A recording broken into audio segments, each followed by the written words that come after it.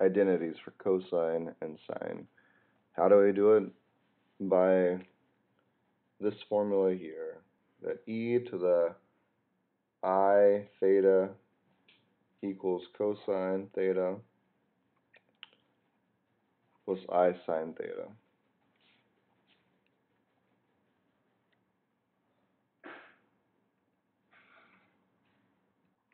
And again, that's an E.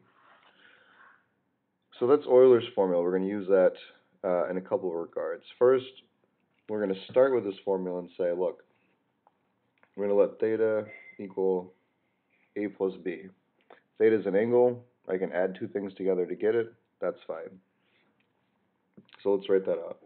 Uh, I have e to the i, okay, instead of theta, I'm writing a plus b equals cosine instead of theta, a plus b plus i sine a plus b. Alright. And we're going to just set that over the side. Maybe we'll put, I don't know, a squiggly or something by it.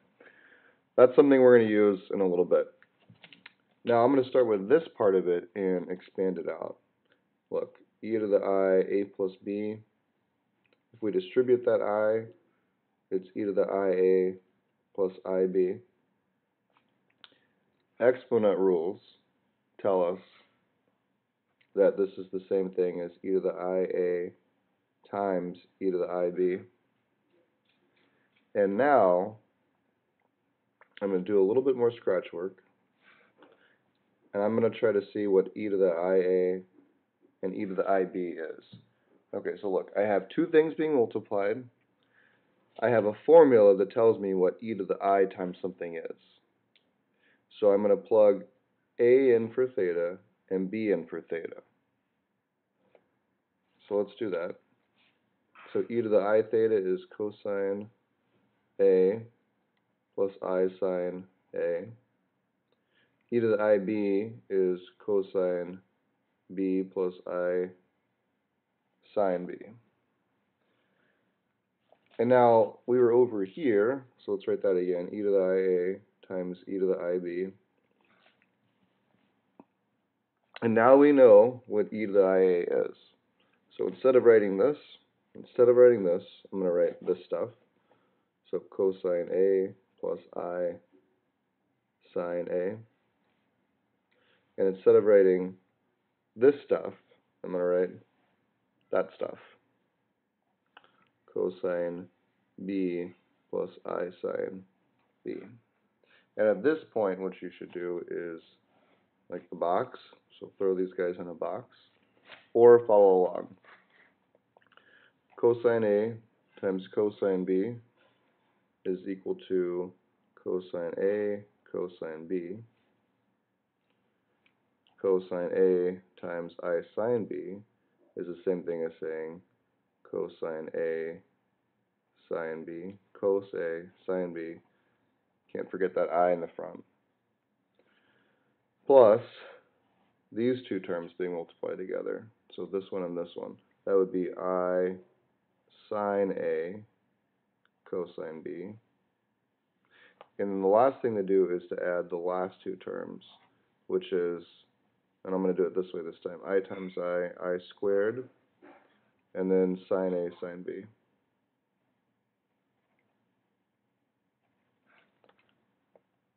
Now, to do this part, this i squared stuff, look, I have to remember that i squared is the same thing as saying i squared, and i squared is square root of negative 1. So i squared is a negative 1. That's it. So I'm going to write this stuff again, just like it. Cosine A, cos B, plus I cos A, sine B, plus I sine A, cos B. But now we know that I squared is a negative 1, so minus sine A, sine B. Now I'm going to rearrange the terms, right? Like I've got some real stuff, and then I've got some imaginary stuff. Let's just write the real stuff next to each other. Cos A, cos B, minus sine A, sine B, plus I cos A, sine B, right? This stuff now. Uh, plus I sine A cosine B. Now, something that I was alluding to in class is that you can only have real solutions on a real coordinate system or complex solutions in a complex coordinate system, meaning that this stuff, right, it has no imaginary numbers. This can only ever relate to real things, like, and that's that weird R, right? That's what I mean by real. Uh, whereas this stuff can relate to imaginary numbers or big C, complex numbers. Now, earlier we have this little squiggly thing here, right? That was the first time that we did it. We just plugged in A plus B. And so we found out that the real part is cosine A plus B, and the imaginary part is sine A plus B. So what happened is we used this formula, this formula, to give us two results.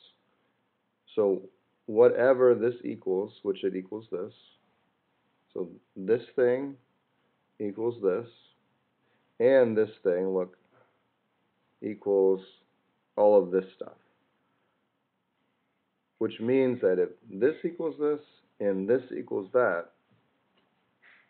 then this equals that.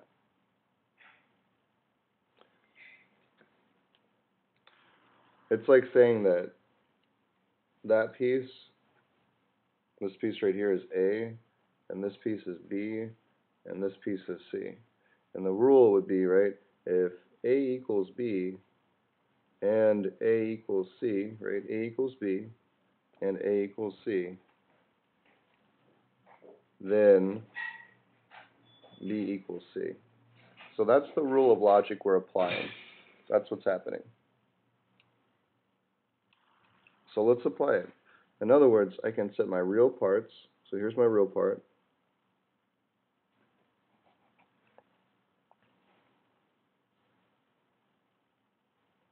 Cosine of a plus b is equal to, this stuff is equal to the real part of this. So cos A, cos B, minus sine A, sine B. That's my first formula, and I'm done.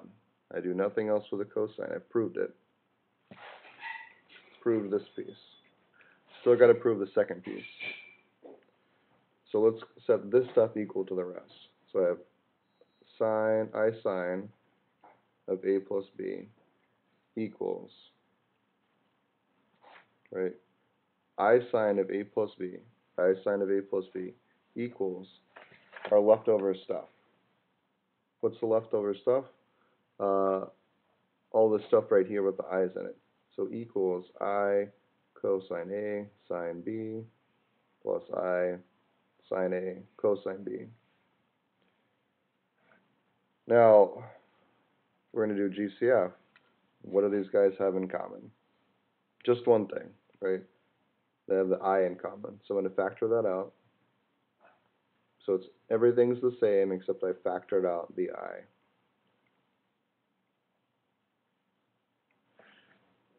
And now that it looks like this, it's a little bit more clear.